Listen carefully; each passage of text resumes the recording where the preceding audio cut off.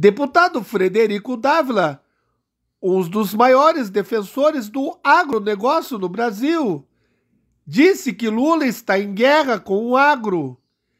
Ontem criticou o plantio de coisas desnecessárias. Desnecessárias?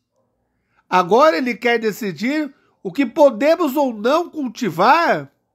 Eu não sabia que Lula entendia de agricultura. Aliás, Lula não entende de nada, nem da própria profissão, tanto que cortou o dedo nos momentos raros que trabalhou. É impressionante como o socialista não consegue se colocar no seu lugar. Quer porque quer controlar tudo e decidir o que o produtor rural tem que produzir.